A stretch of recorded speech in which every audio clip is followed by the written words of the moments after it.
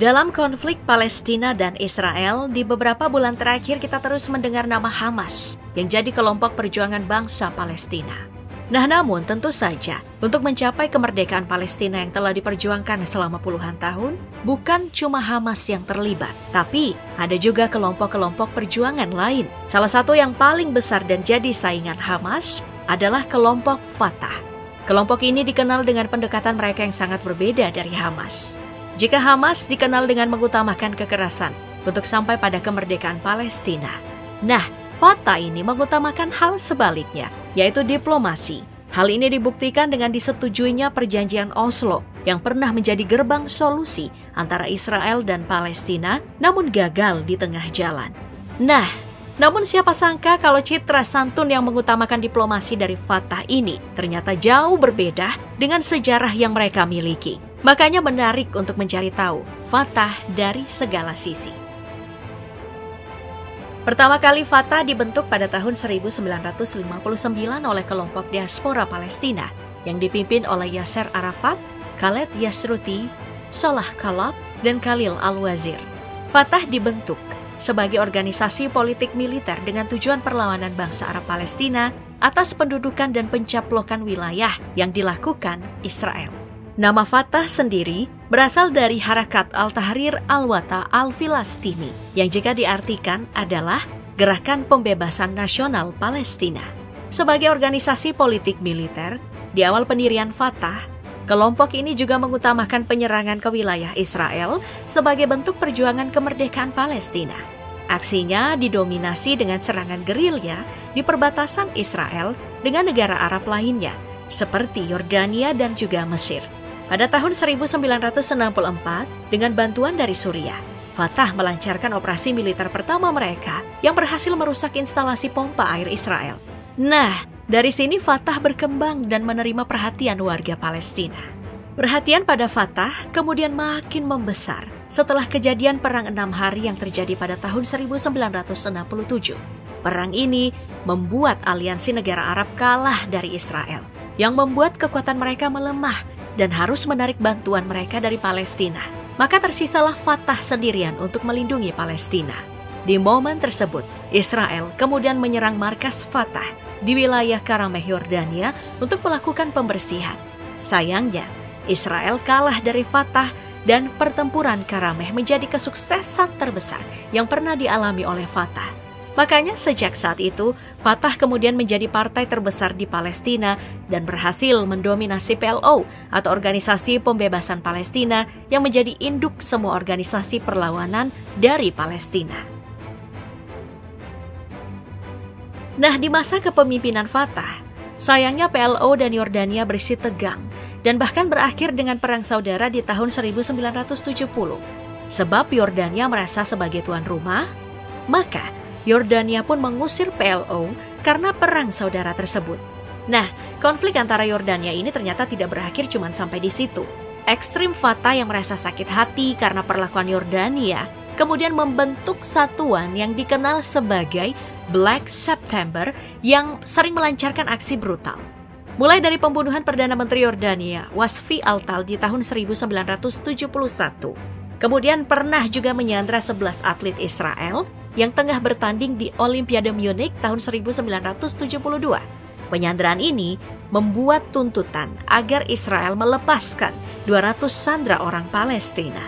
Nah, karena kebrutalan dari Black September ini, Israel yang jengah kemudian melakukan serangan ke Lebanon Selatan yang menjadi markas baru Fatah.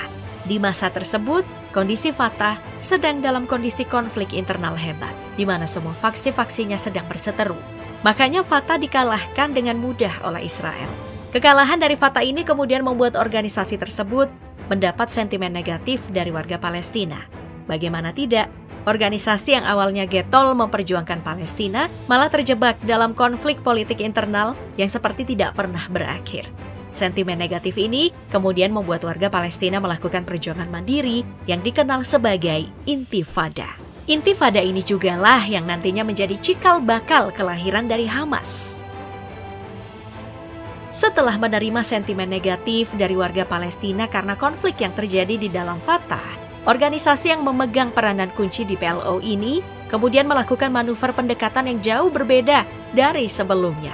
Jika pada awal pembentukan Fatah, mereka terus melakukan aksi bersenjata, nah pada tahun 1993, PLO yang dipimpin oleh Yasser Arafat yang merupakan tokoh kunci dari Fatah secara mengejutkan menandatangani perjanjian Oslo dengan Israel yang disponsori sama Amerika Serikat.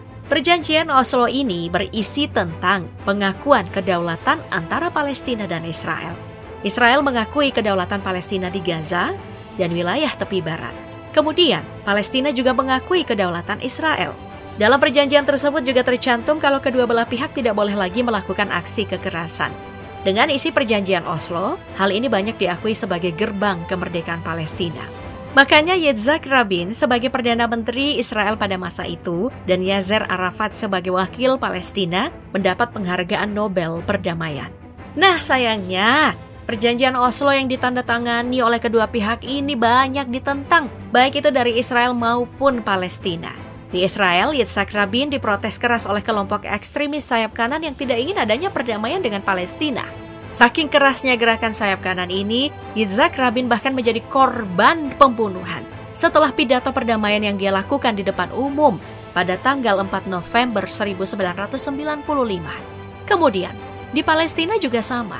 Kelompok-kelompok ekstrim di mana salah satunya adalah Hamas juga menentang perjanjian Oslo. Menurut mereka, tanah air Palestina memang tidak boleh diduduki oleh Israel. Nah, di sini sudah jelas perbedaan mencolok antara Fatah dan Hamas, di mana Fatah sudah ingin melakukan kompromi dengan Israel, sedangkan Fatah masih bersikap tanpa kompromi. Ketegangan yang terjadi di dalam Palestina ini jugalah yang membuat Fatah dicap sebagai antek-antek Israel. Kisruh yang terjadi di kedua belah pihak karena protes terhadap perjanjian Oslo kemudian makin memburuk karena satu sosok petinggi Israel yaitu Ariel Sharon yang tiba-tiba mengunjungi Masjid Al-Aqsa dengan penjagaan militer yang ketat. Sebab kondisi yang tengah tegang, kedatangan Ariel Sharon ini dianggap sebagai penghinaan dan provokasi pada orang-orang Palestina. Makanya kondisi tersebut memicu tragedi baru yaitu Intifada kedua.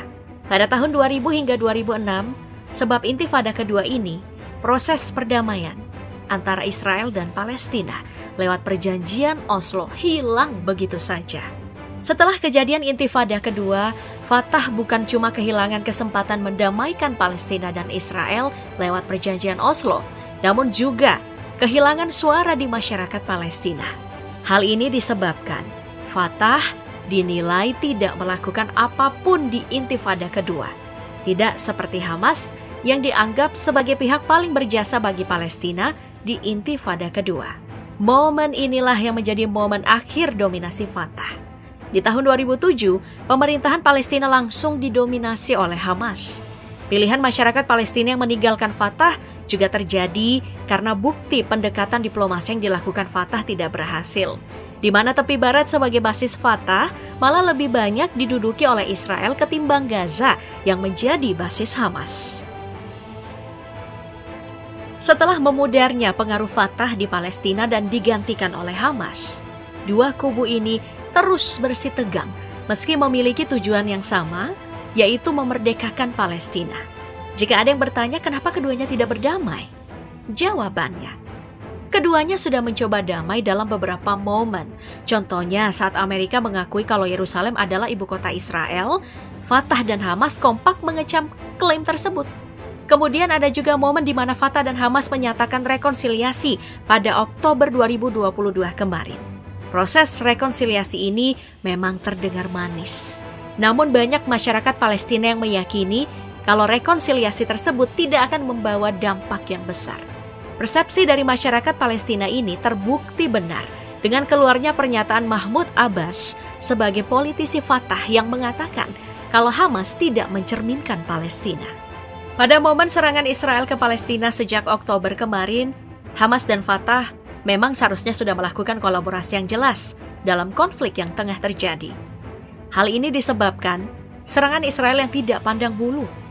Israel tidak cuma melakukan serangan ke Gaza yang menjadi basis Hamas, tapi juga melakukan serangan ke tepi barat yang jelas-jelas tidak terlibat dengan Hamas. Dari korban jiwa yang jatuh juga sudah gawat. Sejak penyerangan di Oktober kemarin, 15.900 warga Palestina di Gaza dan 260 warga di tepi barat pun sudah menjadi korban jiwa. Jadi kira-kira apa yang ditunggu oleh kedua belah pihak ini yang bahkan hingga sekarang malah masih bermain-main politik saja?